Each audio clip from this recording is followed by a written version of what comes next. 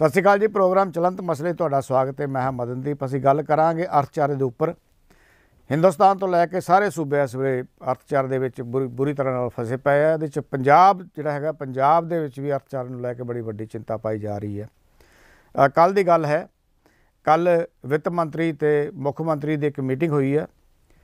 Meeting ਸਿਰਫ ਅਰਥ, ਅਰਥਚਾਰੇ ਤੇ ਵਿਚਾਰ ਕਰਨ ਲਈ ਹੋਈ ਸੀ, ਪਰ ਗੱਲ ਕੋਈ ਸਿਰੇ ਲੱਗੀ ਨਹੀਂ, ਕਿਉਂਕਿ ਪੱਲੇ ਕੁਛ ਨਹੀਂ। ਸਿਰੇ ਗੱਲ ਕੀ ਲੱਗੇ? ਲੈ ਦੇ ਕੇ ਗੱਲ ਜਿਹੜੀ ਹੈ, ਉਹ ਬਾਹਰ ਇਹ ਆਉਂਦੀ ਹੈ ਕਿ ਵਿੱਤ ਮੰਤਰੀ, ਮੁੱਖ ਮੰਤਰੀ ਦੇ ਉੱਪਰ ਜ਼ੋਰ ਪਾ ਰਹੇ ਆ ਵੀ ਆਪਾਂ ਕਿਸੇ ਵੀ ਤਰੀਕੇ ਨਾਲ ਜਿਹੜਾ ਜੀਐਸਟੀ ਦਾ ਬਕਾਇਆ ਪਿਆ ਕੇਂਦਰ ਸਰਕਾਰ ਦੇ ਕੋਲ, ਉਹ ਕੱਢੀਏ ਤਾਂ ਕਿ ਥੋੜਾ ਬਹੁਤ ਤਨਖਾਹਾਂ ਜਿਹੜੀਆਂ ਹੈਗੀਆਂ, ਉਹ ਦਿੱਤੀਆਂ ਜਾ ਸਕਣ। ਕਿਉਂਕਿ ਅਗਲੀਆਂ ਤਨਖਾਹਾਂ ਦੇਣੀਆਂ ਵੀ ਸਰਕਾਰ ਲਈ ਮੁਸ਼ਕਲ ਹੋਈਆਂ ਪਈਆਂ। ਔਰ ਅਰਚਾਰੇ ਨੂੰ ਬੜਾਵਾ ਦੇਣ ਲਈ ਜਾਂ ਘੱਟੋ ਘੱਟ ਜਿਹੜਾ ਹੈਗਾ ਅਗਲੀਆਂ ਚੋਣਾਂ ਦੇ ਵਿੱਚ ਇਹ ਕਹਿਣ ਲਈ ਕਿ ਅਸੀਂ ਸੂਬੇ ਦਾ ਵਾਅਦੇ ਮੁਤਾਬਕ ਵਿਕਾਸ ਕੀਤਾ ਆ ਕੱਲ ਜਿਹੜੀ ਕੈਬਨਿਟ ਦੀ ਮੀਟਿੰਗ ਹੋਈ ਹੈ ਸਰਕਾਰ ਦੀ, ਉਹਦੇ ਵਿੱਚ ਜਿਹੜੀਆਂ ਸ਼ਾਮਲਾ ਦੇ ਜ਼ਮੀਨਾਂ ਪਈਆਂ ਸੀ, ਉਹ ਉਦਯੋਗਾਂ ਨੂੰ ਦੇਣ ਦਾ ਫੈਸਲਾ ਕੀਤਾ ਗਿਆ ਆ। ਤਾਂ ਕਿ ਇਸ ਬਹਾਨੇ ਉਦਯੋਗ ਜਿਹੜਾ ਹੈਗਾ, ਉਹ ਪੰਜਾਬ ਦੇ ਵਿੱਚ ਆ ਸਕੇ। ਇਹ ਸਾਰੇ ਮੁੱਦੇ ਦੇ ਉੱਪਰ ਗੱਲਬਾਤ ਕਰਾਂਗੇ ਔਰ ਇਸ ਗੱਲਬਾਤ ਦੇ ਵਿੱਚ ਮੇਰੇ ਨਾਲ ਜੋ ਅੱਜ ਮੇਰੇ ਦੋਸਤ ਸ਼ਾਮਲ ਨੇ, ਮੈਂ ਪਹਿਲਾਂ ਉਹਨਾਂ ਦਾ ਤਾਰਫ ਕਰਾਉਣਾ ਆ। ਡਾਕਟਰ ਪਿਆਰੇ ਲਾਲ ਗਰਗ, ਇਹ ਵਿਸ਼ਲੇਸ਼ਕ ਨੇ। ਸਾਡੇ ਨਾਲ ਰਾਜਨੀਤੀ ਦੇ ਉੱਪਰ ਵੀ ਗੱਲਬਾਤ ਕਰਦੇ ਆ ਔਰ ਸੂਬੇ ਦੇ ਬਾਕੀ ਜਿਹੜੇ ਮਸਲੇ ਆ, ਖਾਸ ਕਰਕੇ ਅਰਚਾ ਦੇ ਬਾਰੇ ਵੀ ਚੰਗੀ ਤਰ੍ਹਾਂ ਜਾਣਦੇ ਆ। ਇਹਨਾਂ ਤੋਂ ਜਾਣਨ ਦੀ ਕੋਸ਼ਿਸ਼ ਕਰਾਂਗੇ ਕਿ ਇਸ ਵੇਲੇ ਸਮੱਸਿਆ ਕੀ ਹੈ ਪੰਜਾਬ ਦੇ ਅੰਦਰ। ਤੁਹਾਡਾ ਸਵਾਗਤ ਹੈ ਜੀ। ਇਕਬਾਲ ਸਿੰਘ ਆਮ ਆਦਮੀ ਪਾਰਟੀ ਦੇ ਬੁਲਾਰੇ ਨੇ। ਤੁਹਾਡਾ ਵੀ ਸਵਾਗਤ ਹੈ ਇਕਬਾਲ ਸਿੰਘ ਜੀ। ਔਰ ਰਿੰਪਲ ਮਿੱਡਾ ਜੀ, ਕਾਂਗਰਸ ਤੋਂ ਬੁਲਾ ਰਹੇ ਨੇ। ਸਾਨੂੰ ਦੱਸਣਗੇ ਇਹਨਾਂ ਦੀ ਸਰਕਾਰ ਨੂੰ ਸਮੱਸਿਆ ਕੀ ਹੈ। ਤੁਹਾਡਾ ਵੀ ਸਵਾਗਤ ਹੈ ਮਿੱਡਾ ਜੀ। ਸਭ ਤੋਂ ਪਹਿਲਾਂ ਡਾਕਟਰ ਸਾਹਿਬ, ਮੈਂ ਤੁਹਾਡੇ ਤੋਂ ਗੱਲ ਸ਼ੁਰੂ ਕਰੂੰਗਾ। ਜੋ ਹਾਲਾਤ ਇਸ ਵੇਲੇ ਸਾਹਮਣੇ ਆ ਰਹੇ ਆ ਜੋ ਖਬਰਾਂ ਛਪ ਰਹੀਆਂ ਜਾਂ ਵੈਸੇ ਵੀ ਆਪਾਂ ਦੇਖ ਰਹੇ ਹਾਂ। ਹਾਂਜੀ। ਪੰਜਾਬ ਦਾ ਅਰਥਚਾਰਾ ਮਾੜੀ ਹਾਲਤ ਵਿੱਚ ਹੈਗਾ ਬਿਲਕੁਲ ਠੀਕ। ਕੱਲ ਦਿਹਾੜੇ ਵਾਲੇ ਵਿੱਤ ਮੰਤਰੀ ਇਹ ਕਹਿ ਰਹੇ ਸੀ ਪਿਛਲੇ ਲੋਕ ਸਭਾ ਚੋਣਾਂ ਦੇ ਵਿੱਚ ਕਿ ਨਹੀਂ ਨਹੀਂ ਹੁਣ ਸਾਡੇ ਖਜ਼ਾਨੇ ਭਰੇ ਹੋਏ ਆ। ਪਰ ਹੁਣ ਜਿਹੜਾ ਹੈਗਾ ਸਾਹਮਣੇ ਆ ਰਿਹਾ ਕਿ ਖਜ਼ਾਨੇ ਭਰੇ ਹੋਏ ਨਹੀਂ ਖਾਲੀ ਹੈ। ਜੇ ਬੇਰੁਜ਼ਗਾਰ ਨੌਕਰੀ ਲੈਣ ਜਾਂਦੇ ਉਹਨੂੰ ਤੇ ਲਾਠੀ ਚਾਰਜ ਕੀਤਾ ਜਾਂਦਾ ਹੈ। ਜਿਹੜੇ ਇਸ ਵੇਲੇ EMPLOYE ਹੈਗੇ ਆ ਪੰਜਾਬ ਦੇ ਉਹਨਾਂ ਨੂੰ ਤਨਖਾਹ ਜਿਹੜੀ ਹੈਗੀ ਆ ਉਹ ਰਿਲੀਜ਼ ਕਰਨੀ ਮੁਸ਼ਕਲ ਹੋਈ ਪਈ ਸਰਕਾਰ ਲਈ। ਸਰਕਾਰ ਵਾਰ-ਵਾਰ ਜੀਐਸਟੀ ਦੇ ਉੱਪਰ ਰੌਲਾ ਪਾ ਰਹੀ ਹੈ ਕਿ ਸਾਡੇ ਜੀਐਸ ਦਾ ਜੀਐਸਟੀ ਦਾ ਪੈਸਾ ਨਹੀਂ ਆ ਰਿਹਾ। ਜੇ ਜੀਐਸਟੀ ਦਾ ਮੰਨ ਲਓ ਵੀ 45 45 4500 ਜਾਂ 5000 ਜਿਹੜਾ ਕਰੋੜ ਰੁਪਈਆ ਹੈਗਾ ਜੋ ਆ ਵੀ ਜਾਏਗਾ ਤਾਂ ਉਹਦੇ ਨਾਲ ਕੀ ਹੋ ਜਾਏਗਾ? ਦੇਖੋ ਮਦਨਦੀਪ ਜੀ ਗੱਲ ਇਹ ਹੈ ਵੀ ਤਾਲੋਂ ਕੁੱਠੀ ਜੂਮ ਡੂਮਣੀ ਗਾਵੇ ਆਲ ਪਤਾਲ ਵਾਲੀ ਸਾਡੀ ਸਰਕਾਰ ਦੀ ਗੱਲ ਹੈ ਸੂਬੇ ਦੀ ਸਰਕਾਰ ਦੀ। ਸਾਡੀ ਸੂਬੇ ਦੀ ਸਰਕਾਰ ਨੇ ਪਹਿਲਾਂ ਕਹਤਾ ਵੀ ਉਹਨੇ ਫਲਾਣੇ ਨੇ ਚੋਰੀ ਕਰ ਲਈ ਅਸੀਂ ਆ ਮਾਫੀਆ ਨੇ ਇਹ ਨੇ ਉਹ ਨੇ ਚੋਣਾਂ ਵੇਲੇ ਵੋਟਾਂ ਲੈਣ ਵਾਸਤੇ। ਉਹਨੂੰ ਸਟੱਡੀ ਨਹੀਂ ਕਰਿਆ। ਅਸੀਂ ਚੋਣਾਂ ਤੋਂ ਪਹਿਲਾਂ ਪੰਜਾਬ ਦੀਆਂ ਚੋਣਾਂ ਤੋਂ ਪਹਿਲਾਂ ਅਸੀਂ ਕਈ ਕਾਨਫਰੰਸਾਂ ਕਰਕੇ ਅਸੀਂ ਇਹਨਾਂ ਨੂੰ ਪੁੱਛਿਆ ਆਪ ਵਾਲਿਆਂ ਨੂੰ ਵੀ ਪੁੱਛਿਆ। ਜਿਹੜੇ ਇਹਨਾਂ ਦੇ ਲੀਡਰ ਆਉਂਦੇ ਸੀ ਕਾਂਗਰਸੀਆਂ ਦੇ ਵੀ ਆਉਂਦੇ ਸੀ ਕਾਦੀਆਂ ਦੇ ਕਦੇ ਕਦੇ ਆਉਂਦੇ ਸੀ ਕਦੇ ਨਹੀਂ ਆਉਂਦੇ ਸੀ। ਕਿ ਤੁਸੀਂ ਆਪਦੇ ਮੈਨੀਫੈਸਟੋ ਤੁਸੀਂ ਕਰੋਗੇ ਕਿਵੇਂ ਇਸ ਨੂੰ? ਕਿਉਂਕਿ ਜਦ ਤੱਕ ਤੁਸੀਂ ਕੋਈ ਰੂਪ ਰੇਖਾ ਨਹੀਂ ਤੁਹਾਡੇ ਕੋਲੇ ਕਿ ਅਸੀਂ ਇੱਥੋਂ ਇੱਥੋਂ ਪੈਸਾ ਆਊਗਾ ਇੱਥੇ ਜਾਊਗਾ ਮੁੱਢਲੀ ਗੱਲ ਤਾਂ ਇਹ ਹੈ। ਇਹਨਾਂ ਨੇ ਜਿਹੜਾ ਆ ਕੇ ਜਿਹੋ ਜੀ ਵੀ ਸਰਕਾਰ ਸੀ ਇਹਨਾਂ ਨੇ ਇੱਕ ਇੱਕ ਤਰੀਕਾ ਹੁੰਦਾ ਠੋਣਾ ਪੰਨੀ ਜੋ ਪੁਰਾਣੇ ਮਾੜਾ ਕਰ ਗਏ ਪੁਰਾਣੇ ਮਾੜਾ ਕਰ ਗਏ। ਉਹ ਜਿਹੜਾ ਸਾਡਾ ਕੋਈ ਮਾੜਾ ਸਰਜਨ ਹੋਵੇ ਨਾ ਉਹ ਕੋਈ ਪੁਰਾਣਾ ਆਪਰੇਸ਼ਨ ਕਰਾ ਕੇ ਆਇਆ ਹੋਵੇ ਉਹ ਪੁਰਾਣੇ ਨੂੰ ਗਾਲਾਂ ਕੱਢੀ ਜਾਂਦਾ ਕਿਉਂਕਿ ਉਹਨੂੰ ਆਪ ਨੂੰ ਤਾਂ ਸਰਜਰੀ ਆਉਂਦੀ ਨਹੀਂ। ਕਿ ਆਪਦੀ ਉਹੀ ਭੱਲ ਬਣਾਈ ਜਾਂਦਾ। ਜਦ ਕਿ ਉਹਦਾ ਫਰਜ਼ ਇਹ ਬਣਦਾ ਹੈ ਵੀ ਪੁਰਾਣੇ ਨੇ ਜੋ ਕਰਿਆ ਕਰਿਆ ਹੁਣ ਇਹਦੀ ਹਾਲਤ ਕੀ ਹੈ? ਇਹ ਜੋ ਮੈਂ ਇਹਨੂੰ ਕਿਵੇਂ ਕੱਢਣਾ ਹੈ। ਦੇਖਣਾ ਇਹ ਹੁੰਦਾ ਹੈ। ਇਹਦੀ ਇਹਨਾਂ ਨੇ ਕੋਈ ਸਟੱਡੀ ਨਹੀਂ ਕਰੀ ਕੋਈ ਅਧਿਐਨ ਨਹੀਂ ਕਰਿਆ ਕੋਈ ਸੋਚ ਨਹੀਂ ਕਿਉਂ? ਕਿਉਂਕਿ ਵਿੱਤ ਮੰਤਰੀ ਇਹਨਾਂ ਦਾ ਬਾਹਰੋਂ ਪੜਿਆ ਹੋਇਆ ਹੈ। ਉਹ ਜਿੱਡਾ ਮਰਜ਼ੀ ਉਹ ਲੈਂਡਲਾਰਡ ਹੋਵੇ ਜਿੱਡਾ ਮਰਜ਼ੀ ਉਹ ਇਮਾਨਦਾਰ ਹੋਵੇ ਕੱਲੀ ਇਮਾਨਦਾਰੀ ਨਹੀਂ ਕੁਝ ਕਰਦੀ ਹੁੰਦੀ। ਜਿੱਡਾ ਮਰਜ਼ੀ ਉਹ ਆਪਦੇ ਤਰੀਕੇ ਕੱਪੜੇ ਉਹ ਬਹੁਤ ਜ਼ਿਆਦਾ ਬੋਲਦਾ ਹੈ ਕਿਤਾਬਾਂ ਬਹੁਤ ਪੜੀਆਂ ਹੋਈਆਂ ਨੇ ਉਹ ਪੜ ਪੜ ਗੱਡੀ ਲੱਦੀ ਵਾਲਾ ਉਹਦਾ ਹਿਸਾਬ ਹੈ। ਉਹ ਵਿੱਤ ਮੰਤਰੀ ਬਾਦਲ ਸਾਹਿਬ ਦੀ ਸਰਕਾਰ 'ਚ ਵੀ ਰਿਹਾ ਉਸ ਵਿੱਤ ਮੰਤਰੀ ਦੇ ਕੋਲੇ ਜਿਹੜਾ ਆਮ ਬੰਦਿਆਂ ਨੂੰ ਪਤਾ ਹੈ। ਇਹ ਕੋਈ ਵਿੱਤ ਕੋਈ ਆਏ ਨਹੀਂ ਹੈ ਇਹ ਸਾਨੂੰ ਲੱਗਦਾ ਫਿਰ ਐ ਬਣਾ ਕੇ ਪੇਸ਼ ਕਰੀਏ ਇਹ ਬਹੁਤ ਵੱਡੀ ਗੱਲ ਹੈ। ਵਿੱਤ ਨੂੰ ਸੰਭਾਲਣ ਦਾ ਤਰੀਕਾ ਕੀ ਹੁੰਦਾ ਹੈ ਕਿ ਇੱਕ ਪਾਸੇ ਅਸੀਂ ਦੇਖਣਾ ਸਾਡੇ ਆਮਦਨ ਕਿੱਥੋਂ ਕਿੱਥੋਂ ਹੋ ਸਕਦੀ ਹੈ। ਦੂਜੀ ਗੱਲ ਸਾਡੇ ਖਰਚੇ ਕਿੱਥੇ ਕਿੱਥੇ ਨੇ। ਤੇ ਇੱਕ ਆਮਦਨ ਵਧਾਉਣ ਦੇ ਤਰੀਕੇ ਲੱਭਣੇ। ਬਿਨਾਂ ਕਿਸੇ ਨੂੰ ਤੰਗ ਕਰੇ। ਜਿੱਥੋਂ ਸਾਡੀ ਆਮਦਨ ਹੋ ਸਕਦੀ ਹੈ ਹੋ ਨਹੀਂ ਰਹੀ ਬਿਨਾਂ ਮਤਲਬ ਦੇ ਖਰਾਬ ਹੋ। ਰਹੀ ਹੈ ਉਹ ਰੋਕਣੀ ਦੂਜੇ ਪਾਸੇ ਜਿਹੜੇ ਫालतू ਖਰਚੇ ਹੁੰਦੇ ਨੇ ਉਹਨਾਂ ਨੂੰ ਰੋਕਣਾ। ਇਸ ਸਰਕਾਰ ਨੇ ਆ ਕੇ ਇਹ ਕੋਈ ਸਟੱਡੀ ਨਹੀਂ ਕਰੀ। ਇਹਨੇ ਉਹ ਰੱਟੋ ਜੋ ਬਿਊਰੋਕਰੇਟਾਂ ਨੇ ਅਫਸਰਸ਼ਾਹੀ ਨੇ ਕਹਤਾ ਇੱਥੇ ਐਂ ਕਰ ਦਿਓ ਜੀ ਆਹ ਪੈਨਸ਼ਨਾਂ ਬੰਦ ਫਲਾਣੀ ਚੀਜ਼ ਬੰਦ ਕਰ ਦਿਓ ਜੀ ਇਹਨਾਂ ਨੂੰ ਡੀਏ ਨਾ ਦਿਓ ਜੀ ਫਲਾਣਾ ਨਾ ਕਰੋ। ਇਹਨਾਂ ਨੇ ਕੁਛ ਨਹੀਂ ਕਰਨਾ। ਮੈਂ ਇੱਕ ਲਾਈਨ 'ਚ ਹੀ ਗੱਲ ਕਰਾਂਗਾ। ਹੂੰ। ਹਾਲਤ ਇਹਨਾਂ ਦੀ ਕੀ ਆ? ਇਸ ਸਾਲ ਦਾ ਜਿਹੜਾ ਬਜਟ ਹੈ ਇਹਨਾਂ ਦਾ ਹੂੰ। 19 20 ਦਾ ਇਸੇ ਵਿੱਤ ਮੰਤਰੀ ਨੇ ਪੇਸ਼ ਕਰਿਆ। ਉਹਦੇ ਫਿਰ ਬੋਲਦਾ ਨਾ ਅਸੈਂਬਲੀ 'ਚ।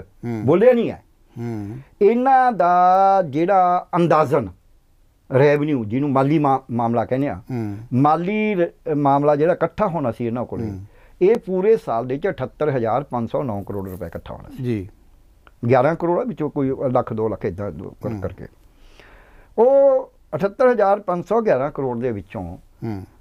37000 ਕਰੋੜ ਤਨਖਾਹਾਂ ਔਰ। ਪੈਨਸ਼ਨਾਂ ਤੇ ਜਾਣਾ ਸੀ। ਹੂੰ। 17000 ਕਰੋੜ ਵਿਆਜ ਤੇ ਜਾਣਾ ਸੀ। ਹੂੰ। 10000 ਕਰੋੜ 11000 ਕਰੋੜ ਬਿਜਲੀ ਤੇ ਸਬਸਿਡੀ ਤੇ ਜਾਣਾ। ਸੀ। ਤੇ ਫਿਰ ਰਹਿ ਕੀ ਗਿਆ? 8000 ਕਰੋੜ। ਹਾਂ। 13000 ਕਰੋੜ ਸੌਰੀ ਉਹ 13000 ਕਰੋੜ ਨੂੰ ਨਿਉਂਦੇ ਪਾਲੋ ਕੋਕੇ ਪਾਲੋ ਉਹਦੇ ਨਾਲ ਕੀ ਹੋਣਾ ਸੀ? ਇਹਨਾਂ ਨੇ ਇਹ ਸਟੱਡੀ ਨਹੀਂ ਕਰੀ ਵੀ ਭਾਈ ਇਹਨੂੰ ਆਪਾਂ ਕਿਵੇਂ ਰੋਕਣਾ? ਠੀਕ ਹੈ ਡਾਕਟਰ ਸਾਹਿਬ। ਤੁਹਾਡੇ ਕੋਲ ਆ ਕੇ ਅਸੀਂ ਇਹ ਜਾਣਨ ਦੀ ਕੋਸ਼ਿਸ਼ ਕਰਾਂਗੇ ਵੀ ਸਟੱਡੀ ਕਿਹੜੀ ਰਹਿ ਗਈ ਕਿੱਥੇ ਸਟੱਡੀ ਕਰਨ ਦੀ ਲੋੜ ਸੀ। ਪਰ ਉਸ ਤੋਂ ਪਹਿਲਾਂ ਇਕਬਾਲ ਸਿੰਘ ਜੀ ਤੁਹਾਡੇ ਵੱਲੋਂ ਤੁਹਾਡੇ ਜਿਹੜੇ ਸੂਬਾ ਆਗੂ ਹੈਗੇ ਆ ਡਾਕਟਰ ਚੀਮਾ ਐਡਵੋਕੇਟ ਚੀਮਾ ਹਰਪਾਲ ਚੀਮਾ ਜੀ ਉਹਨਾਂ ਦਾ ਬਿਆਨ ਆਇਆ ਕਿ ਪੰਜਾਬ ਨੂੰ ਕੰਗਾਲ ਕਰਤਾ ਸਰਕਾਰ ਨੇ।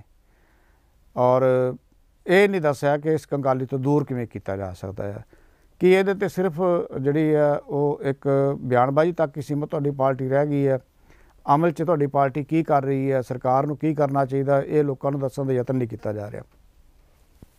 ਨਹੀਂ ਮਦਨ ਜੀ ਦੀ ਗੱਲ ਇਹ ਹੈ ਵੀ ਦੇਖੋ ਜੇ ਉਹ ਪੂਰੀ ਖਬਰ ਨੂੰ ਪੜੋਗੇ ਜੀ। ਉਹਦੇ ਚ ਨਾਲ ਦੱਸਿਆ ਵਾ ਵੀ ਹੈ ਵੀ ਰੀਜਨ ਕੀ ਹੈ। ਠੀਕ ਹੈ ਜੀ। ਉਹਦੇ ਚ ਨਾਲ ਉਹਨਾਂ ਨੇ ਦੱਸਿਆ ਵੀ ਕਿੱਥੋਂ ਮਤਲਬ ਰਿਕਵਰੀ ਹੋਣੀ ਹੈ ਕਲੈਕਸ਼ਨ ਕਿੱਥੋਂ ਆਉਣੀ ਉੱਥੇ ਹੀ ਮਾਫੀਆ ਬੈਠਾ ਇਹਨਾਂ ਦਾ। ਚਾਹੇ ਟਰਾਂਸਪੋਰਟ ਮਾਫੀਆ ਚਾਹੇ ਕੇਬਲ ਮਾਫੀਆ ਚਾਹੇ land mafia sand mafia police mafia ਲੱਕੜ ਮਾਫੀਆ ਕਿੰਨੇ ਮਾਫੀਏ ਉਹਨਾਂ ਨੇ ਨਾਲ। ਉਸ ਰਿਪੋਰਟ 'ਚ ਦੱਸੇ ਹੈਗੇ। ਉਹ ਉੱਥੇ ਮਤਲਬ ਲੌਕ ਹੋਇਆ ਪਿਆ ਪੈਸਾ।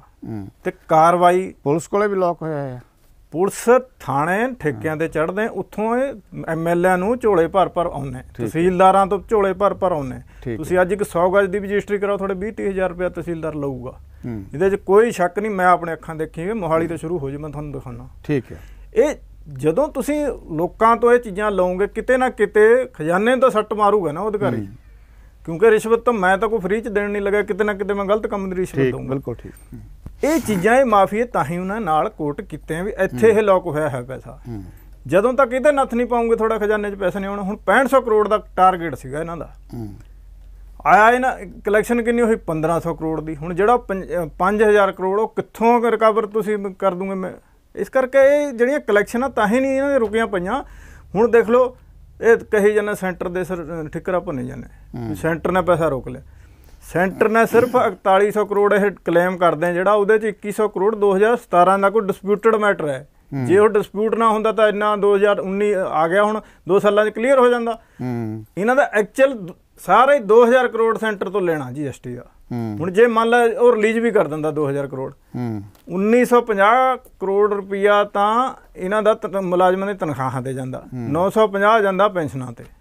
ਉਹ ਵੀ ਪੂਰੇ ਨਹੀਂ ਹੁੰਦੇ ਬਾਕੀ ਖਰਚੇ ਕਿੱਥੋਂ ਕ- ਪੂਰੇ ਕਰਨਗੇ ਇਹ? ਇਹ ਤਨਖਾਹਾਂ ਤੇ ਤਾਂ ਬਹੁਤ ਜ਼ਿਆਦਾ ਜਾਂਦਾ ਹੋਰ ਵੀ ਜਾਂਦਾ ਹੈ ਨਹੀਂ, ਪਰ ਗੱਲ ਇਹ ਆ ਵੀ 5000 ਵੀ ਜੇ ਸੈਂਟਰ ਕੋਲੋਂ ਆ ਰਿਹਾ ਮਿੱਡਾ ਜੀ ਤੁਸੀਂ ਸਰਕਾਰ ਕਿਵੇਂ ਚਲਾ ਸਕਦੇ ਹੋ ਇਹਦੇ ਬਾਵਜੂਦ ਵੀ?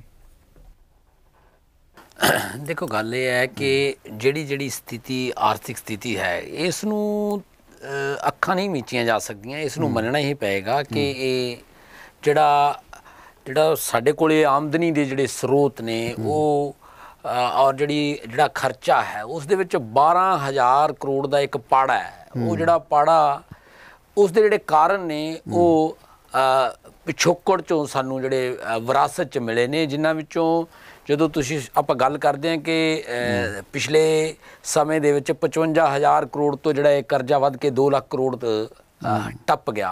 ਔਰ ਜਿਹੜਾ ਇਹ ਕਰਜ਼ਾ ਹੈ ਉਹ ਜਿੱਥੇ ਆਪਣੀ ਥਾਂ ਤੇ ਸਟੈਂਡ ਕਰਦਾ ਉੱਥੋਂ ਸਾਡੇ ਜਿੰਨੀ ਜਿਹੜੀ ਆਮਦਨੀ ਹੈ ਉਸ ਦੇ ਵਿੱਚੋਂ ਵੱਡੀ ਜਿਹੜੀ ਹੈ ਵੱਡੀ ਕਿਸ਼ਤ ਜਿਹੜੀ ਹੈ ਉਹ 33900 ਕਰੋੜ ਦੀ ਕਰਜ਼ੇ ਦੇ ਰੂਪ ਵਿੱਚ ਜਿਹੜੀ ਆ ਉਹ ਸਾਡੀ ਕਿਸ਼ਤ ਚਲੀ ਜਾਂਦੀ ਹੈ। ਇਹੀ ਸਾਡੀ ਇੱਕ ਬਹੁਤ ਵੱਡੀ ਤਰਾਸਦੀ ਹੈ ਜਿਸ ਕਰਕੇ ਸੂਬਾ ਜਿਹੜਾ ਹੈ ਉਹ ਆਪਣੇ ਪੈਰਾਂ ਸਿਰ ਨਹੀਂ ਖੜਾ ਹੋ ਪਾ ਰਿਹਾ। ਔਰ ਜਿੱਥੇ ਗੱਲ ਡਾਕਟਰ ਸਾਹਿਬ ਨੇ ਵੀ ਕੀਤੀ ਹੈ ਠੀਕ ਹੈ ਕਿ ਰਾਜਨੀਤੀ ਦੇ ਵਿੱਚ ਕਈ ਵਾਰ ਜਿਸ ਤਰੀਕੇ ਦੀ ਦੌੜ ਲੱਗੀ ਹੁੰਦੀ ਆ ਉਸ ਦੌੜ ਦੇ ਵਿੱਚ ਦਮਗਜੇ ਜਿਹੜੇ ਨੇ ਉਹ ਮਾਰੇ ਜਾਂਦੇ ਨੇ ਉਸ ਦਮਗਜਾਂ ਦੇ ਵਿੱਚੋਂ ਸ਼ਾਇਦ ਸਾਡੀ ਪਾਰਟੀ ਵੀ ਪਿੱਛੇ ਨਹੀਂ ਰਹੀ। ਔਰ ਉਹੀ ਦਮਗਜੇ ਜਿਹੜੇ ਨੇ ਉਹ ਜਦੋਂ ਕਿਸੇ ਇੰਸਟੀਚਿਊਟ ਦਾ ਦਰਵਾਜ਼ਾ ਖੋਲ ਕੇ ਜਦੋਂ ਅਸੀਂ ਅੰਦਰ ਜਾਂਦੇ ਹਾਂ ਤਾਂ ਹਾਲਾਤ ਜਿਹੜੇ ਨੇ ਅੰਦਰ ਜਾ ਕੇ ਹੀ ਪਤਾ ਲੱਗਦੇ ਨੇ ਔਰ ਉਹ ਜਿਹੜੇ ਹਾਲਾਤ ਉਹ ਕੋਈ ਚੰਗੇ ਨਹੀਂ ਸਨ। ਔਰ ਉਹ ਜਿਹੜੇ ਹਾਲਾਤਾਂ ਦੇ ਨਾਲ ਅੱਜ ਵੀ ਸੂਬਾ ਜੂਝ ਰਿਹਾ ਹੈ ਔਰ ਜਿਹੜਾ ਇਹ 12 ਹਜੋ- ਹਜ਼ਾਰ ਕਰੋੜ ਦਾ ਜਿਹੜਾ ਇਹ ਗੈਪ ਹੈ ਪਾੜਾ ਹੈ ਇਹ ਦੋ ਤਿੰਨ ਤਰੀਕੇ ਨਾਲ ਹੀ ਵੱਧ ਸਕਦਾ ਹੈ ਕਿ ਇੱਕ ਤਾਂ ਜਿਹੜੇ ਆਮਦਨ ਦੇ ਜਿਹੜੇ ਸਰੋਤ ਨੇ ਉਹ ਵਧਨ ਖਰਚੇ ਘਟਣ ਔਰ ਨਾਲ ਦੀ ਨਾਲ ਜਿਹੜੀ ਹੈ ਕੇਂਦਰ ਵੱਲੋਂ ਵੀ ਜਿਹੜੀ ਹੈ ਕੋਈ ਆਰਥਿਕ ਮਦਦ ਮਿਲੇ ਤਾਂ ਹੀ ਇਹ ਜਿਹੜਾ ਸੂਬਾ ਹੈ ਪੈਰਾਂ ਸਿਰ ਹੋ ਸਕਦਾ ਹੈ ਇਸ ਦੇ ਲਈ। ਯਤਨ ਕੀਤੇ ਜਾ ਰਹੇ ਹੈ। ਤੁਸੀਂ ਬਹੁਤ ਇਮਾਨਦਾਰੀ ਨਾਲ ਗੱਲ ਕੀਤੀ ਹੈ ਪਰ ਡਾਕਟਰ ਸਾਹਿਬ ਸਵਾਲ ਇਸ ਗੱਲ ਦਾ ਹੈਗਾ ਜਿਹੜੀ ਇਹਨਾਂ ਨੇ ਇੱਕ ਬੜੀ ਮਹੱਤਵਪੂਰਨ ਗੱਲ ਕਹੀ ਹੈ ਜਿਹੜੀ ਕਰਜ਼ੇ ਦੀ ਕਿਸ਼ਤ ਹੈਗੀ ਹੈ। ਹਾਂਜੀ। ਉਹ ਪੰਜਾਬ ਦੇ ਸਿਰ ਤੇ ਬਹੁਤ ਵੱਡੀ ਵੱਡਾ ਬੋਝ ਆ। ਹੁਣ ਇਹਦੇ ਵਿੱਚ ਜਿਹੜਾ ਤੁਹਾਨੂੰ ਯਾਦ ਹੋਣਾ ਹੈ ਪਿਛਲੀ ਜਦੋਂ ਸਰਕਾਰ ਸੀ ਮੋਦੀ ਸਰਕਾਰ ਸੀ ਤਾਂ ਇੱਕ ਟੀਮ ਆਈ ਸੀ ਪੰਜਾਬ ਦੇ ਅੰਦਰ ਹਾਂਜੀ। ਜਿਹੜੀ ਫਾਈਨੈਂਸ ਕਮਿਸ਼ਨ ਦੀ ਟੀਮ ਸੀ। ਫਾਈਨਾਂਸ ਕਮਿਸ਼ਨ ਦੀ ਜਿਹਦੇ ਚ 33000 ਕਰੋੜ ਰੁਪਏ ਦਾ ਮਾਮਲਾ ਇੱਕ ਜਿਹੜਾ ਉਹ ਹੱਲ ਕਰਨ ਦਾ ਦਾਵਾ ਕੀਤਾ ਗਿਆ ਸੀ ਕਿ ਸਰਕਾਰ ਉਹ ਜਿਹੜਾ ਪੈਸਾ ਮੁਆਫ ਕਰ ਦੇਵੇਗੀ ਜਿਹੜਾ ਇਹਨਾਂ ਨੇ ਦੇਣਾ ਸੀ। ਪਰ ਉਹ ਹਾਲੇ ਵਿੱਚ ਇਹ ਮਾਮਲਾ ਰਹੇਗਾ ਉਹਦੀ ਵੀ ਕਿਸ਼ਤ ਜਾ ਰਹੀ ਹੈ ਪਲੱਸ ਜਿਹੜਾ ਪੰਜਾਬ ਦੇ ਸਿਰ ਪਹਿਲਾ ਕਰਜ਼ਾ ਹੈਗਾ ਕੋਈ ਲਗਭਗ ਜਿਹੜਾ ਇਹ ਕਿਹਾ ਜਾਂਦਾ ਹੈ ਕਿ 2.5 ਲੱਖ ਕਰੋੜ ਦੇ ਕਰੀਬ ਕਰੀਬ ਖਰਚਾ ਆਪਣਾ ਕਰਜ਼ਾ ਹੈਗਾ ਪੰਜਾਬ ਦੇ ਉੱਪਰ ਇਹ ਸਾਰੇ ਕਰਜ਼ਾ ਆਪਾਂ ਕਰ ਲਈਏ ਤਾਂ। ਇਹ ਸਾਰੇ ਮਸਲਿਆਂ ਦੇ ਨਾਲ ਕਿਵੇਂ ਸਰਕਾਰ ਨੂੰ ਨਜਿੱਠਣਾ ਚਾਹੀਦਾ ਤੇ ਜਿਹੜੇ ਆਮਦਨ ਦੇ ਸਰੋਤ ਦੀ ਗੱਲ ਕਰਦੇ ਹੋ ਸਰੋਤ ਕਿਹੜੇ ਆਪਣੇ ਮੈਂ ਇਹੀ ਗੱਲ ਪਹਿਲੀ ਗੱਲ ਮੈਂ ਅਧਿਐਨ ਦੀ ਗੱਲ ਕਰੀ ਸੀ। ਤੁਹਾਡੇ ਸਵਾਲ ਦਾ ਜਵਾਬ ਦਿੰਦਾ ਮੈਂ ਹੁਣੇ। ਅਧਿਐਨ ਚ ਇੱਕ ਦੋ ਪਾਰਟੀਆਂ ਦੇ ਬੈਠੇ ਨੇ ਤੀਜੀ ਪਾਰਟੀ ਦਾ ਬੈਠਾ ਨਹੀਂ। ਇਹਨਾਂ ਨੇ ਆਖਿਆ ਆਪ ਵਾਲਿਆਂ ਨੇ ਕਿ ਅਸੀਂ 25 ਲੱਖ ਬੰਦੇ ਨੂੰ ਰੋਜ਼ਗਾਰ ਦੇਵਾਂਗੇ ਜੀ। ਕਾਂਗਰਸ ਨੇ ਆਖਿਆ ਘਰ ਘਰ ਰੋਜ਼ਗਾਰ ਦੇਵਾਂਗੇ ਯਾਨੀ ਕਿ 56 ਲੱਖ ਨੂੰ ਰੋਜ਼ਗਾਰ ਹੋਏਗਾ। 56 ਲੱਖ ਨੂੰ। ਅਕਾਲੀਆਂ ਨੇ ਆਖਿਆ ਸੀ 20 ਲੱਖ ਨੂੰ ਰੋਜ਼ਗਾਰ ਦੇਵਾਂਗੇ ਹੂੰ। ਠੀਕ ਹੈ। ਕਿਹਾ ਤਾਂ ਰੋਜ਼ਗਾਰ ਸੀ ਪਰ ਇਹ ਆਪ ਵਾਲੇ ਅਕਾਲੀ ਬੀਜੇਪੀ ਇਹ ਕਹੀ ਜਾਂਦੇ ਨੇ ਨੌਕਰੀਆਂ ਕਿਹਾ ਸੀ। ਹੂੰ। ਨੌਕਰੀਆਂ ਨਹੀਂ ਕਿਹਾ। ਮੈਂ ਸਾਰਾ ਕਾਂਗਰਸ ਦਾ ਮੈਨੀਫੈਸਟੋ ਮੇਰੇ ਕੋਲ ਪਿਆ ਮੈਂ ਕੱਲ ਕੱਲ ਪੜਿਆ ਉਹਨਾਂ ਨੇ ਬਲਕਿ ਰੋਜ਼ਗਾਰ ਦਾ ਦੱਸਿਆ ਵੀ ਹੈ ਵੀ ਅਸੀਂ ਲਘੂ ਉਦਯੋਗ ਕਰਾਂਗੇ ਫਲਾਣਾ ਕਰਾਂਗੇ ਉਹਦੇ ਚ ਅਸੀਂ ਰੋਜ਼ਗਾਰ ਕਿਵੇਂ ਘਰ- ਦੇਵਾਂਗੇ। ਘਰ ਰੁਜ਼ਗਾਰ ਮੈਂ ਦੀ ਇਹਨਾਂ ਸਾਰਿਆਂ ਨੂੰ ਪੁੱਛ ਲਿਆ ਵੀ ਤੁਸੀਂ ਬਲੂਪ੍ਰਿੰਟ ਦੇ ਦਿਓ ਤੁਸੀਂ 20 ਲੱਖ ਦਾ ਦੇ ਦਿਓ ਕੱਲੀਆਂ ਬੀਜੇਪੀ ਨੂੰ ਕਿਹਾ ਵੀ 20 ਲੱਖ ਤੁਸੀਂ ਰੋਜ਼ਗਾਰ ਕਿਵੇਂ ਪੈਦਾ ਕਰਨਾ ਸੀ। ਇਹ 25 ਲੱਖ ਦਾ ਦੇ ਦੇਣਾ ਉਹ 56 ਲੱਖ ਦਾ ਦੇ ਦੇਣਾ 25 ਲੱਖ ਰੋਜ਼ਗਾਰ ਤੋਂ ਇਹਦੇ ਅਸੈਂਬਲੀ ਚ ਕਹਦੇ ਨੇ ਇਹਨਾਂ ਨੂੰ ਅਸੈਂਬਲੀ ਚ ਕਹਿੰਦਾ ਤਾਂ ਦੂਜੀ ਗੱਲ ਮੈਂ ਕਹਾਂਗਾ ਮੈਂ ਆਉਣਾ ਅਸੈਸਮੈਂਟ ਤੇ ਵੀ। ਮਿੱਡਾ ਜੀ ਨੇ ਕਿਹਾ ਹੈ ਵੀ ਜਦ ਦਰਵਾਜ਼ਾ ਖੋਲਦੇ ਆ ਇਹ ਗਲਤ ਕਿਹਾ ਇਹਨਾਂ ਨੇ। ਦਰਵਾਜ਼ੇ ਦੇ ਅੰਦਰ ਸੀਗੇ ਦਰਵਾਜ਼ੇ ਨੂੰ ਜਿੰਦਾ ਲਾਉਣ ਦਾ ਤੇ ਖੋਲਣ ਦਾ ਇਹਨਾਂ ਨੂੰ ਅਧਿਕਾਰ ਨਹੀਂ ਸੀ। ਹੁਣ ਇਹਨਾਂ ਨੂੰ ਅਧਿਕਾਰ ਮਿਲ ਗਿਆ ਅੰਦਰ ਤੇ ਹੁੰਦੇ ਸੀਗੇ। ਅੰਦਰ 45 ਬੰਦੇ ਰਹੇ ਨੇ ਇਹਨਾਂ ਦੇ ਹਰ ਸਾਲ। ਇੱਕ ਵਾਰੀ 44 ਐਮਐਲਏ ਸੀ ਇੱਕ ਵਾਰੀ 46 ਸੀਗੇ। ਸੋ ਅੰਦਰ ਹੈਗੇ ਸੀ ਉਸ ਦਰਵਾਜ਼ੇ ਦੇ ਸੋ ਉੱਥੇ ਬੈਠਾਂ ਹੁੰਦੀਆਂ ਸੀ ਉੱਥੇ ਬਜਟ ਪਾਸ ਹੁੰਦੇ ਰਹੇ ਨੇ 10 ਸਾਲ ਤੇ ਇਹਨਾਂ ਦੇ ਬੰਦੇ ਸੁਣਦੇ ਰਹੇ ਨੇ। ਉਹ ਚ ਪਾਰਟੀਸਪੇਟ ਕਰਦੇ ਨੇ। ਸੋ ਇਹ ਨਹੀਂ ਕਹਿ ਪਤਾ ਸਕਦੇ ਸੀ। ਵੀ ਪਤਾ ਹੀ। ਨਹੀਂ ਸੀ। ਅਗਲੀ ਗੱਲ। ਜਿਹੜਾ ਇਹਨਾਂ ਦਾ ਵਿੱਤ ਮੰਤਰੀ ਹੈ ਉਹ ਤਜਰਬਾਕਾਰ ਹੈ ਕਿਉਂਕਿ ਵਿੱਤ ਮੰਤਰੀ ਪਹਿਲਾਂ ਸਰਕਾਰ 'ਚ ਰਿਹਾ ਦੂਜਿਆਂ ਦੀ ਸਰਕਾਰ 'ਚ ਰਿਹਾ ਬਲਕਿ। ਜਿਹੜੇ ਇਹਨਾਂ ਦੇ ਮੁੱਖ ਮੰਤਰੀ ਸਾਹਿਬ ਨੇ ਉਹ ਵੀ ਬੜੇ ਤਜਰਬਾਕਾਰ ਨੇ। ਕੋਈ ਆਇਆ ਨਹੀਂ ਵੀ ਕੋਈ ਤਜਰਬੇ ਦੀ ਘਾਟ ਸੀ। ਇਹ ਠੀਕ ਹੈ ਇਹਨਾਂ ਦੀ ਗੱਲ ਵੀ ਦਮਗਜੇ ਮਾਰਨ ਵਾਲਾ ਸਾਰਾ ਕੁਝ ਮੁੱਖ ਮੰਤਰੀ ਖੁਦ ਵੀ MLA ਰਹੇ ਆ। ਹੁਣ ਮੈਂ ਅਸੈਸਮੈਂਟ ਦੀ ਗੱਲ ਕਰਦਾ। ਹਾਂ। ਇੱਕ ਤਾਂ ਇਹ ਨਹੀਂ ਕਰਿਆ। ਹੂੰ। ਦੂਜਾ ਇਹ ਇਹਨਾਂ ਨੇ ਵੀ ਜਿਵੇਂ ਆਪ ਹੀ ਕਿਹਾ ਸਾਰਿਆਂ ਨੇ ਜਿਹੜੇ ਤੁਸੀਂ 30000 31000 ਕਰੋੜ ਦੀ ਗੱਲ ਕਰਦੇ ਹੋ। ਇਹ 'ਚ ਕੋਈ ਸ਼ੱਕ ਨਹੀਂ ਵੀ ਸੈਂਟਰ ਪੰਜਾਬ ਨਾਲ ਕਰਦਾ ਧੱਕਾ। ਪਰ ਇਹਨਾਂ ਦਾ ਮੁੱਖ ਮੰਤਰੀ ਸੈਂਟਰ ਦੀ ਬੋਲੀ ਪਹਿਲਾਂ ਬੋਲਦਾ। ਵੱਧ ਚੜ ਕੇ ਬੋਲਦਾ ਤੇ ਜੇ ਉਹ ਸੈਂਟਰ ਦੀ ਬੋਲੀ ਬੋਲੇ ਫਿਰ ਸੈਂਟਰ ਤੋਂ ਫਾਇਦੇ ਲੈ ਲੇ ਪੰਜਾਬ ਦੇ ਨਾਲ ਹਰੇਕ ਸਰਕਾਰ ਨੇ ਧੱਕਾ ਕਰਿਆ। ਚਾਹੇ ਉਹਦੀ ਬੋਲੀ ਹੈ ਚਾਹੇ ਉਹਦਾ ਆ ਸੱਭਿਆਚਾਰ ਹੈ ਚਾਹੇ ਉਹਦਾ ਪੈਸਾ। ਮਸਲਾ ਉਠਾਇਆ ਹੀ ਨਹੀਂ ਮੈਂ। ਮੈਂ ਬੇਨਤੀ ਕਰਾਂਗਾ ਇੱਥੇ ਅੱਤਵਾਦ ਫੈਲਿਆ। ਉਹ ਕਹਿੰਦੇ ਖਰਚਾ ਤੁਸੀਂ ਦਿਓ ਜੀ। ਕੱਲ ਨੂੰ ਸੀਆਰਪੀਐਫ ਲਾ ਦੇਣਗੇ ਉਰੇ। ਆ ਹੁਣ ਇਹਨਾਂ ਨੇ ਮੰਗਾ ਲਈ ਹੈ ਸੈਂਟਰ ਜਿਹਨਾਂ ਵਾਸਤੇ ਸੀ। ਹਾਂ, ਉਹਦਾ ਪੈਸੇ ਅਸੀਂ ਦਿਓ ਜੀ। ਫਿਰ ਪੰਜਾਬੀਆਂ ਕੋਲ ਰਹਿਣਾ ਕੀ ਹੈ ਪੰਜਾਬੀ ਮੁੰਡਿਆਂ ਨੂੰ ਨੌਕਰੀ ਦਿਓ ਫਿਰ ਤਾਂ। ਸੋ ਜਿਹੜਾ ਸਾਡੀ ਇਹ ਸਮੱਸਿਆ ਹੈ ਕੇਂਦਰ ਸਾਡੇ ਨਾਲ ਵਿਤਕਰਾ ਕਰ ਰਿਹਾ ਹੈ। ਉਹ ਇੱਕ ਵੱਖਰੇ ਪੱਧਰ ਤੇ ਲੜਾਈ ਸੀ ਉਹ ਇਹਨਾਂ ਨੇ ਭੋਰਾ ਨਹੀਂ ਕਰੀ। ਇਹ ਜਾ ਕੇ ਲੇੜਕਣੀਆਂ ਕੱਢਦੇ ਨੇ? ਵੀ ਅੱਜ ਮੈਂ ਪਿਊਸ਼ ਗੋਲ ਨੂੰ ਮਿਲਿਆ ਜੀ ਹੁਣ ਮੈਂ ਸੀਤਾਰਮਨ ਜੀ ਨੂੰ ਮਿਲਿਆ ਜੀ ਮੈਂ ਪਿਊਸ਼ ਗੋਲ ਨੂੰ ਇਹ ਕਹਿਣਾ ਸਾਡੇ ਇੰਡਸਟਰੀ ਲਾ ਦਿਓ ਜੀ ਮੈਂ ਸੀਤਾਰਮਨ ਜੀ ਨੂੰ ਕਹਿਣਾ ਸਾਨੂੰ ਅਸੀਂ ਕੋ ਮੰਗਤੇ ਆ। ਪੰਜਾਬ ਦਾ ਹੱਕ ਹੈ। ਉਹ ਹੱਕ ਕਿਸੇ ਨੇ ਨਹੀਂ ਮੰਗਿਆ। ਬੇਨਤੀਆਂ ਕਰੀਆਂ ਨੇ।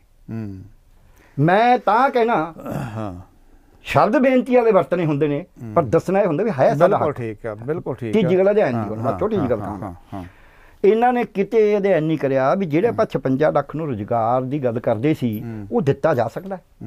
ਉਹ ਦਿੱਤਾ ਜਾ ਸਕਦਾ ਸੀ। ਮੈਂ ਦੱਸਦਾ ਕਿਵੇਂ। ਕਿਉਂ ਨਹੀਂ ਅਧਿਐਨ ਕਰਿਆ?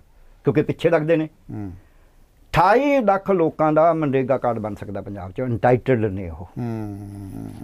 ਉਹਨਾਂ ਨੂੰ 100 ਦਿਨ ਦਾ ਰੋਜ਼ਗਾਰ ਹਰੇਕ ਨੂੰ ਮਿਲਣਾ ਸੀ ਤੇ ਜੇ ਇਹ ਰეკਮੈਂਡ ਕਰਦੇ ਨੇ ਵੀ ਸਾਡਾ Kandi area border area Bet area ਬਹੁਤ ਜ਼ਿਆਦਾ ਹੈ ਸਾਡੇ ਤਾਂ 150 ਦਿਨ ਦਾ ਚਾਹੀਦਾ ਤਾਂ ਸਰਕਾਰ ਦੇ ਉਹ ਐਕਟ ਚ ਮੰਨੇਗਾ ਐਕਟ ਵੀ 150 ਦਿਨ ਦਾ ਦਿੱਤਾ ਜਾ ਸਕਦਾ ਹੈ। ਕਈ ਸਰਕਾਰਾਂ ਨੇ ਕਰਵਾਇਆ ਹੈ।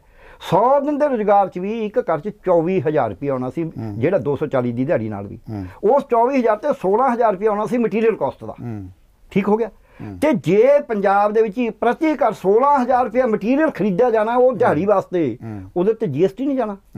ਉਹ ਕੱਚਾ ਮਾਲ ਨਹੀਂ ਪੈਦਾ ਹੋਣਾ ਉਹ ਪੱਕਾ ਮਾਲ ਨਹੀਂ ਪੈਦਾ ਹੋਣਾ ਰੋਜ਼ਗਾਰ ਵਧੇਗਾ ਨਾ ਬਾਕੀ ਉਧਰ ਵੀ। ਇਹ ਰੋਜ਼ਗਾਰ ਦਾ ਨਹੀਂ ਇਹਨਾਂ ਤੱਕ ਪੈਸਾ ਸੈਂਟਰ ਚ ਆਉਣਾ ਸੀ। ਠੀਕ ਹੋ ਗਿਆ? ਦੂਜਾ ਸਰਕਾਰੀ ਮੁਲਾਜ਼ਮ ਸੀਗੇ ਇਹਨਾਂ ਨੇ 60 ਸਾਲ ਦੀ ਉਮਰ ਕਰਤੀ। ਉਹਨਾਂ ਨੂੰ ਜੇ ਰਿਟਾਇਰ ਕਰ ਦੋ ਉਹਨਾਂ ਦੀ ਪੂਰੀ ਪੈਨਸ਼ਨ ਦੇ ਦਿਓ ਤੇ ਬਾਕੀ ਜਿਹੜੇ ਉਹਨਾਂ ਦੇ ਰਿਟਾਇਰਮੈਂਟ ਬੈਨੀਫਿਟ ਉਹ ਤੇ ਕਹੋ ਵੀ ਵਿਆਜ ਦੇਵਾਂਗੇ। ਸਿਵਲ ਸਰਵਿਸ ਰੂਲਾਂ ਦੇ ਵਿੱਚ ਲਿਖਿਆ ਵੀ ਜੇ ਸਰਕਾਰ ਤੁਹਾਡੇ ਜਿਹੜੇ ਗ੍ਰੈਚੁਟੀ ਤੇ ਹੋਰ ਪੈਸੇ ਨਾ ਦੇ ਸਕੇ ਤਾਂ ਉਹਦਾ ਵਿਆਜ ਦੇਗੀ। ਵਿੱਚ ਲਿਖਿਆ। ਨਵਾਂ ਰੂਲ ਤਾਂ ਬਣਾਉਣ ਦੀ ਲੋੜ ਹੀ ਨਹੀਂ। ਠੀਕ ਹੈ ਇਹਦਾ- ਇਹਦਾ ਡਾਕਟਰ ਸਾਹਿਬ ਇਹ ਜਿਹੜੇ ਮਸਲੇ। ਉਠਾ ਰਹੇ ਹੋ, ਮੈਂ ਮੈਂ। ਛੋਟੀ ਜਿਹੀ ਗੱਲ ਕਰ। ਉਹਦਾ ਵਿਆਜ ਦੇ ਦਾਂਗੇ। ਨਵੇਂ ਬੰਦਿਆਂ ਨੂੰ ਨੌਕਰੀ ਦੇਣੀ ਆ ਬੇਸਿਕ ਪੇ ਤੇ। ਹੁਣ ਜੇ ਇੱਕ ਕਾਲਜ ਦੇ ਪ੍ਰੋਫੈਸਰ ਨੂੰ ਰਿਟਾਇਰ ਕਰ ਦਿੰਦੇ ਨੇ 58 ਸਾਲ ਤੇ ਤਿੰਨ ਪ੍ਰੋਫੈਸਰਾਂ ਨੂੰ 21 21000 ਰੁਪਏ ਦੇ ਕੇ 63000 ਤਾਂ ਉਹਨਾਂ ਨੂੰ ਦਿੱਤਾ 1 ਲੱਖ ਉਹਨੂੰ ਪੈਨਸ਼ਨ ਦਾ ਦਿੱਤਾ। ਹੂੰ। 1 ਲੱਖ 63000 ਗਿਆ। ਹੁਣ ਉਹ ਲੈ ਰਿਹਾ 2 ਲੱਖ ਸਵਾ 2 ਲੱਖ। ਬਚ ਗਿਆ ਨਾ ਪੈਸਾ? ਹਜ਼ਾਰ ਕਰੋੜ ਰੁਪਇਆ ਖਜ਼ਾਨੇ ਨੂੰ ਫਾਇਦਾ ਹੁੰਦਾ ਸੀ। ਤਿੰਨ ਤਿੰਨ ਨੌਜਵਾਨਾਂ ਨੂੰ ਉਹ ਰੁਜ਼ਗਾਰ ਮਿਲਣਾ ਸੀ। ਇੱਕ ਮਿੰਟ ਪੂਰਾ ਹਾਂ, ਲਾਸਟ ਹਾਂ, ਜੇ 28 ਲੱਖ ਮਨਰੇਗਾ ਕਾਰਡ ਬੰਦੇ 28 ਲੱਖ ਤਾਂ ਉਹਨਾਂ ਘਰਾਂ ਨੂੰ ਰੁਜ਼ਗਾਰ ਮਿਲਣਾ ਸੀ। ਹਾਂ। 73000 ਹਾਂ। ਵਾਈਟ ਕਲਰ ਜੌਬ ਮਿਲਣਾ ਸੀ ਉਹਦੇ ਜੇਈ ਲੱਗਣੇ ਸੀ ਸਰਵੇਅਰ ਲੱਗਣੇ ਸੀ ਕੰਪਿਊਟਰ ਵਾਲੇ ਲੱਗਣੇ ਸੀ ਮੇਟ ਲੱਗਣੇ। ਸੀ। ਇਹ ਇਹ ਰੁਜ਼ਗਾਰ ਦਾ ਸੋਰਸ ਸੀ। ਉਹ। ਇਹਨਾਂ ਨੇ ਨਹੀਂ ਸਟੱਡੀ ਕਰਿਆ ਨਾ ਉਹਨੂੰ ਲਾਗੂ ਕਰਿਆ। ਹਾਂ। ਨਾ ਮੰਨਣ ਨੂੰ ਤਿਆਰ ਨੇ। ਡਾਕਟਰ ਸਾਹਿਬ ਅੱਗੇ ਆ ਕੇ ਤੁਹਾਡੇ ਕੋਲ ਗੱਲ ਆ ਕੇ ਤੁਹਾਨੂੰ ਪੁੱਛਾਂਗੇ ਵੀ ਇਹ ਸਰੋਤ ਪੈਦਾ ਸਰਕਾਰ ਕਰ ਕਿਉਂ ਨਹੀਂ ਸਕੀ? ਕਿਉਂਕਿ ਇੱਕ ਬਹੁਤ ਵੱਡਾ ਇਲਜ਼ਾਮ ਜਿਹੜਾ ਲੱਗ ਰਿਹਾ ਸਰਕਾਰ ਦੇ ਅੰਦਰ ਜਿਹੜਾ ਇੱਕ ਵਿਵਾਦ ਚੱਲ ਰਿਹਾ, ਇਹ ਵੀ ਚੱਲ ਰਿਹਾ ਕਿ ਆਈਐਸ ਲੌਬੀ ਹੈ, ਉਹ ਸਰਕਾਰ ਦੇ ਵੱਸ ਤੋਂ ਬਾਹਰ ਹੋਈ ਪਈ ਹੈ। ਇਸ ਕਰਕੇ ਵੀ ਕਈ ਚੀਜ਼ਾਂ ਜਿਹੜੀ- ਜਿਵੇਂ ਤੁਸੀਂ ਗੱਲਾਂ ਕਰ ਰਹੇ ਹੋ ਵੀ ਇਹ ਸਾਰੇ ਮਸਲੇ ਜਿਹੜੇ ਹੈਗੇ ਆ ਆਈਐਸ ਲੌਬੀ ਸਰਕਾਰ ਨੂੰ ਰਿਜ਼ਲਟ ਨਹੀਂ ਦੇ ਰਹੀ ਇੰਪਲੀਮੈਂਟ ਨਹੀਂ ਕਰ ਰਹੀ, ਅਮਲ ਚ ਨਹੀਂ ਲਿਆ ਰਹੀ ਸਰਕਾਰ ਦੀਆਂ ਸਕੀਮਾਂ। ਇਸ ਕਰਕੇ ਵੀ ਕਿਤੇ ਨਾ ਕਿਤੇ ਉਹ ਬਾਅਦ ਚ ਆ ਕੇ ਸਮਝਾਂਗੇ ਤੁਹਾਡੇ ਕੋਲੋਂ, ਕਿਉਂਕਿ ਤੁਸੀਂ ਸਰਕਾਰਾਂ ਦੇ ਵਿੱਚ ਰਹੇ ਹੋ ਵੱਡੇ ਵੱਡੇ ਅਧਿਕਾਰੀ ਵੀ ਰਹੇ ਹੋ, ਵੀ ਵਾਕਿਆ ਐਵੇਂ ਹੁੰਦਾ ਛੋਟੀ ਜਿਹੀ ਬ੍ਰੇਕ ਆ ਬ੍ਰੇਕ ਤੋਂ ਬਾਅਦ ਆ ਕੇ ਅਸੀਂ ਇਕਬਾਲ ਸਿੰਘ ਕੋਲ ਆਵਾਂਗੇ। ਉਸ ਤੋਂ ਬਾਅਦ ਮਿੱਡਾ ਸਾਹਿਬ ਕੋਲ ਜਾ ਕੇ ਫਿਰ ਅਸੀਂ ਡਾਕਟਰ ਸਾਹਿਬ ਕੋਲ ਆਵਾਂਗੇ, ਬਣੇ ਰਹੋ ਸਾਡੇ ਨਾਲ।